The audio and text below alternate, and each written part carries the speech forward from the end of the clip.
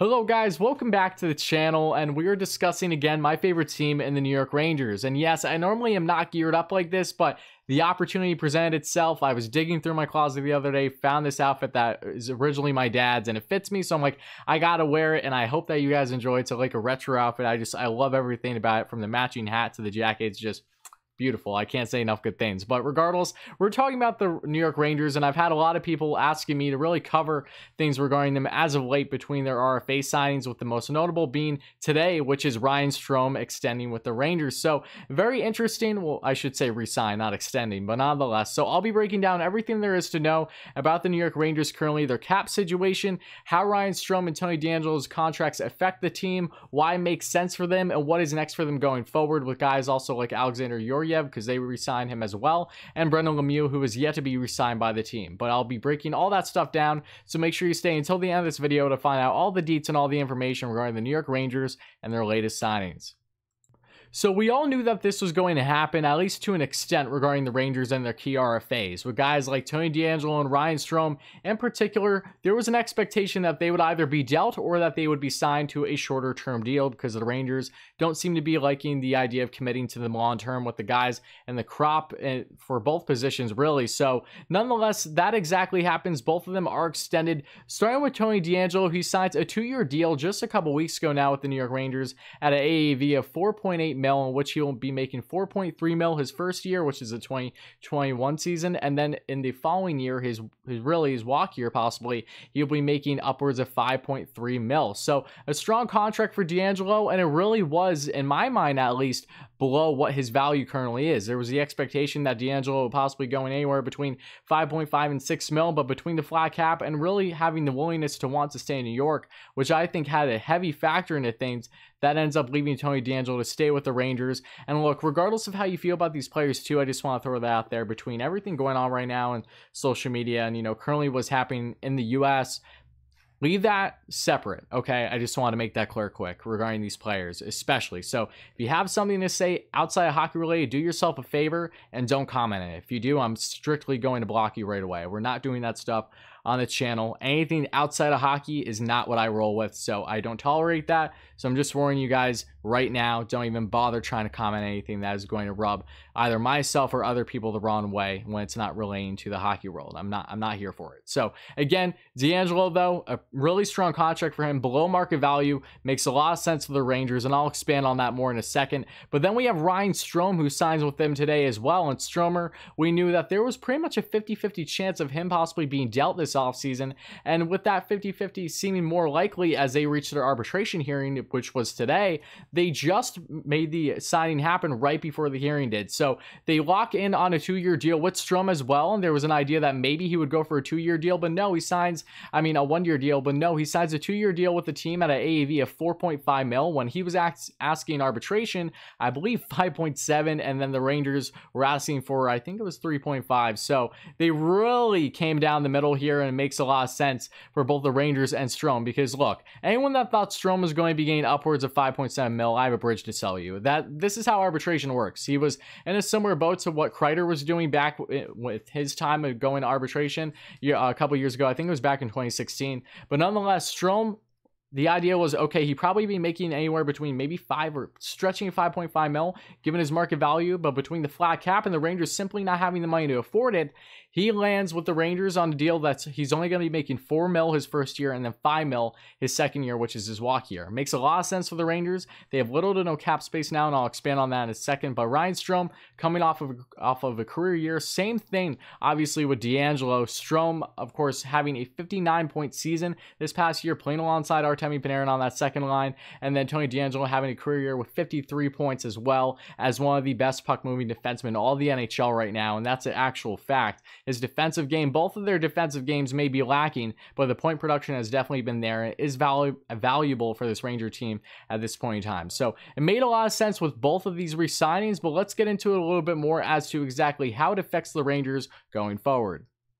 Because when we look at the Rangers cap situation right now, they're in somewhat of a tricky spot. Because if you look right over here, we're going to have it. They have just around 4 mil in cap space, um, realistically speaking. Um, oh, I'm sorry, not 4 mil, pardon me. I mean that on paper, at least for CapFriendly, they have 6.379 mil. But with the cap, um, the bonus cut cushion penalty, they really only have around 2.429 mil that they're working with. So take that into, into account. I would put that in the equation regarding that. So nonetheless, the Rangers are in a tight bind right now. They have not even 2.5 mil realistically in cap space, and they still have to re-sign Brendan Lemieux, who they are set to go to arbitration right now. We'll see if it happens. I think they're going to land around a two-year deal at an AAV of 1.5 mil, with the first year being 1 mil and the second year being 2. We'll see what happens there because I know that Lemieux was asking for 2 mil in arbitration. I think the Rangers were going for 1. So they'll probably meet right down the middle if you ask me, which makes a lot of sense. But regardless, the Rangers don't have much cap space now going forward. And when you look at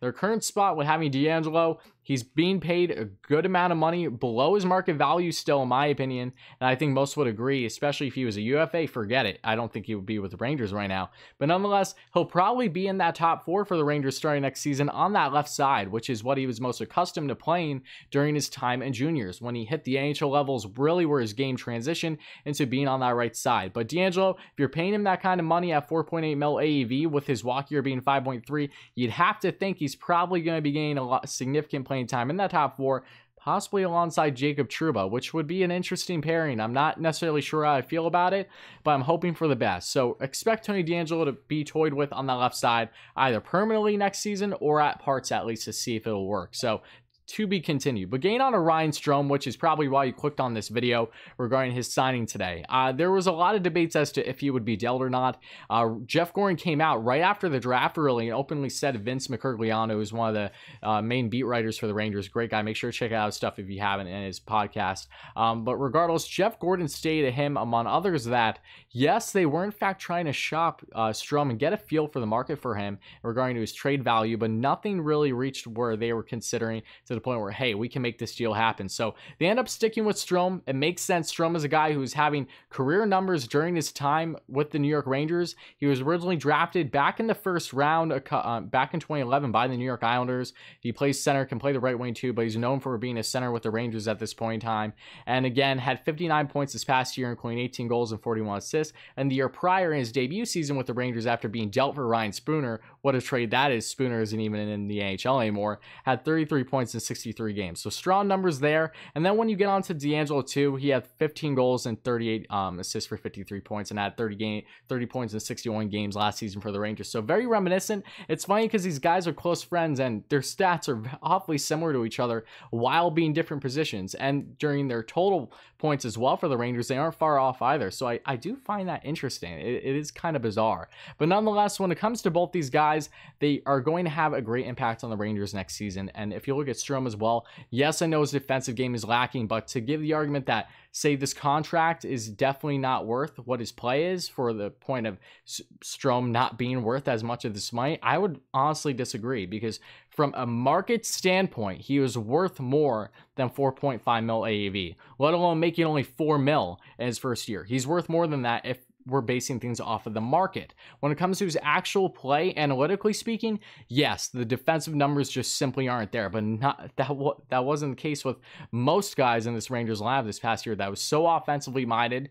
Really, obviously, still in this rebuild slash retool, and they're working on their defensive game. I expect Strome to get better in that route. And look, he's had the best numbers of his career, really being a late bloomer with the New York Rangers. This was the best season to date that he had since really, I believe, his freshman or sophomore season with the Islanders, in which he had 50 points. So take that into account. And DeAngelo, by far, has been playing the best hockey of his career with the New York Rangers. Wasn't the case when he was originally drafted back in 2014 in the first round by the Tampa Bay Lightning and then was traded. He didn't even play a regular season game with them, I don't believe. He was then traded to the Arizona Coyotes. Part of that Derek Stepan trade, we know the deal there. He has had a very strong start to his career with the New York Rangers, and he and this is great for them when it comes to this two-year deal because a couple things lie. The Rangers aren't committed to either of them long term, with DeAngelo's um, situation, still having Nils Lundkvist and other defensemen coming up sooner rather than later for the Rangers on the defensive front because they have great defensive prospects. I've touched on that in previous videos.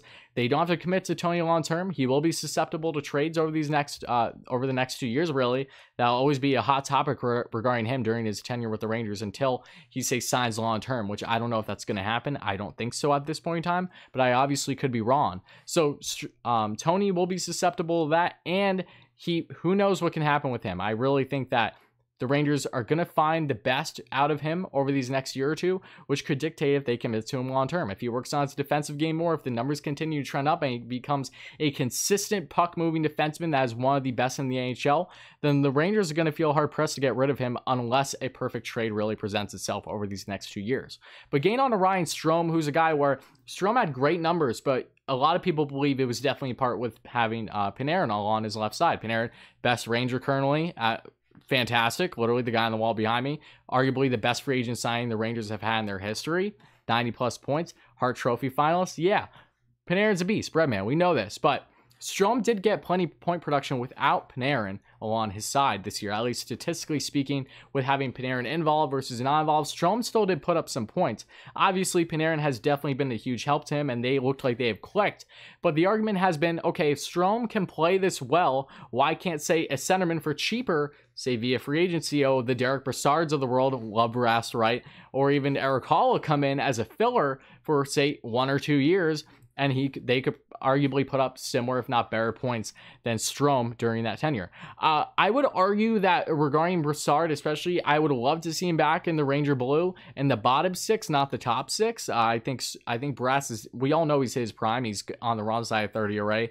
Uh, Erik Haula has been injury prone. I would love to take a flyer on him in that bottom six, but who knows? These are guys that really you're banking on a lot. It's a low risk, high reward situation, but if they aren't committed to Filipino as a 2C, which I surely am, I would love to see him in the top six, but they're not doing that yet, at least.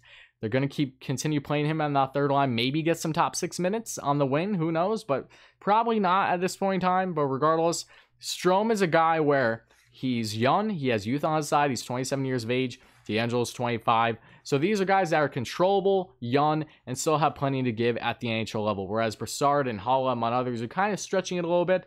And the Rangers aren't going to be going after, say, any guys, um, bigger names, whether it's Mikael Granlund, who has really been marketed as a winner over a centerman currently from all the reports I've seen. So I wouldn't bank on Granlund. I don't. I wouldn't bank on the Rangers doing anything free agency wise for the remainder of the year. And I think that the idea of possibly having some bigger uh, trades happening with Stromer Which was rumored, and I was under the belief for a bit that Strome could really be dealt as part of a bigger deal.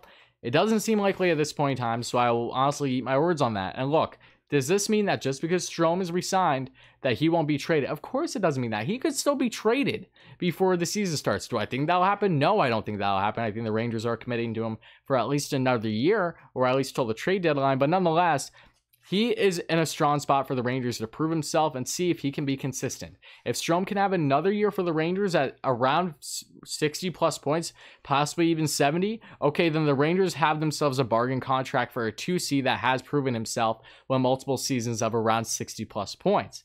But if he does have a down year next year with even Alexi Lafreniere in the mix and these youngsters like Kaapo Kakko, Adam Fox, Julien Gauthier, Filipino getting better, then that's something to worry about. And then you're like, wow, maybe we didn't execute on trading him while his value is at its highest. So there are things to consider. There are some risks involved, but for the most part, these are strong deals, definitely below market value that make perfect sense for the Rangers in this cap crunch. So don't expect them to do anything crazy for the remainder of the offseason. I, I think that's a has been at this point in time. Uh, could they do, say, a salary dump for a Brendan Smith? Sure, but Again, it does kind of feel like it's stretching it right now, but we'll see. They did dump Marc Staal, which no one expected. I surely didn't. So who knows? Jeff Gorton has a lot of tricks up his sleeve, and he normally keeps it pretty hush hush, closed indoors before something actually comes to fruition. So take these things into account. But when you look at this Rangers defense right now, as it is, you're going to have Adam Fox, Ryan Lindgren, beautiful pairing. Such a great rookie pairing from last season that's only going to get better. Then you have Jacob Trouba, and let's just say theoretically, Tony DeAngelo on the left side of that pairing. Okay, that's your top four. Great, solid. Not fantastic defensively, but a lot of offensive power and hoping these guys get better because they do have youth on their side for developing their, their overall defensive game. Then you get to that third pairing, then you have Brendan Smith and Jack Johnson. I don't like that. I know you don't like that. So what can the Rangers do for next year? I've touched on this in previous videos. Tarmo Reunanen, one of the more coveted prospects for the Rangers, a more underappreciated one, if you will, uh, Finnish defenseman, is going to have a strong shot to make the Rangers lineup on that left side defense for the bottom pair next season. I believe he has a stronger shot at making it than K'Andre Miller because of Miller's uh, bonuses and maybe not just being ready for the NHL level. I think Miller will have a cup of coffee next season, but really nothing more than that unless he truly blows them away in camp. So keep these things in mind. Tarmo Reunanen, watch out for him. Anthony Bitetto is a fringe NHL defenseman. Really, analytics are not on his side either. He signed with the Rangers as well. Another depth defenseman who grew up a Rangers fan. I believe he's from New York. That's a cool story. I like that. But nonetheless, it only means so much. Anthony Bitetto will probably be a seventh defenseman for the Rangers, uh, all things considered. There was that rumor with Sami Vatanen that I covered in the past that Mike Johnson from NHL Network threw out there. Probably isn't going to happen, but it was a fun discussion nonetheless and does make you think, is there something there? Probably not, but is another thing to consider. And then when you look at the Rangers center depth right now, you have Mika Zibanejad, you have Ryan Strome, you're going to have pardon me, Mika Zibanejad, Ryan Strome, Filip Chytil, and then you're going to have Brett Howden and Kevin Rooney might be slotted in there. Who knows? But the Rangers are in a very interesting spot where they need to see what these guys are going to do consistently over this next year or two. It's a lot of prove it time for the Tony DeAngelos, the Ryan Stromes, the Filip Chytils even to an extent, and Julien Gauthier. I think Chytil might be stretching it a little bit just because if they're going to keep him in a bottom six role, then you're not necessarily going to get a crazy amount of production out of him. I expect him to take a jump next year, but Still, if he's going to be limited his opportunities, you can't put too much blame on him at the end of the day. And Julien Gauthier, the Rangers don't know what they really have in him yet. He's done everything at every other level. He's been dominant in the AHL, former first round draft pick, I believe back in 2016, part of that Joey Keane trade back at the trade deadline. A lot to prove with him. I really like his skill set, six foot four, big frame, really fast as well, strong hands. Let's see if he can put it together as an NHL regular next season excited for him. But these are a lot of guys with a lot of question marks. And then you have other guys too to see if they're going to advance their game at all or if they really hit their peak. And Pavel Buchnevich, who's still young, Kakko is just getting his feet wet. A lot can be expected with him. And now you bring Alexi Lafreniere in the mix, and this offense and overall team gets that much better. The Rangers are going to be so fun to watch. I can't wait to cover them more in the future as a Rangers fan. But let me know your thoughts in the comments below, guys. How do you feel about the Ryan Strome signing, the DeAngelo signing, uh, signing even? I thought that was fine at an AAV of 2.45 mil, if my memory serves me correct. So I think that was perfectly fine on them. Uh, he would definitely be making more money AAV if he was, say, a UFA or hit the market. Regardless, I think that that was a perfect signing for them. Another two year deal, not committing anything long term for these RFAs. You can't go wrong. Yes, they may be susceptible to things, and maybe Ryan Strome will be toyed with as uh, this, the expansion happens in two years. Who knows? I think that might be stretching it because if I'm the Rangers, I don't want to lose Ryan Strome to the, uh, the Seattle Kraken uh, when I could have traded him. That, that would be my biggest worry. But if, say, a trade isn't presenting itself, he's declining, he has a quick peak, whatever it may be, and that they don't want to deal with that cap hit, that's a possibility too. So take these things into account. Ryan Strome, he could be susceptible after next season to go to Seattle, but to be determined. We will see what happens there. But let me know your thoughts in the comments below, guys. Ranger fans, first of all, do you like the outfit? I like this outfit, but I want to know your thoughts if you think it's cool or not. If you don't, hey, that's fine. I don't care. But regardless, let me know your thoughts on the Rangers currently. Ryan Strome, Tony DeAngelo. We're talking about hockey, nothing else. Don't give me that BS, please. Um, and Georgiev, Lemieux, do you think Lemieux will sign sooner than later? What's the questions regarding there? And anything else you have, basically questions regarding the Rangers that you want me to answer or anything like that, please let me know in the comments. I would love to hear it. Thank you all so much for 2,000 subscribers, guys. It means an absolute ton. This has been such a fun ride and gaining the love and appreciation that I've been having, not just on my channel overall, but talking about my favorite team, the Rangers specifically, is pretty darn cool. So seriously, thank you all so much. Hit those buttons, hit like, hit subscribe, check out previous videos. I just did a video breaking down the Ottawa Senators top 10 prospects. Check out my previous videos talking about the Rangers top 10 prospects and talking about the Rangers' future as a whole with Statboy Steven. And the prospect video was with Gravity, Nathan Gravity. Make sure to check out his channel as well. But a lot of great content on the channel, a lot of great content going forward here with a lot more collabs with fellow great YouTubers. So be on the lookout for all this stuff, guys. But thank you again so much. Let me know your thoughts in the comments below, as always, and I'll be back real soon.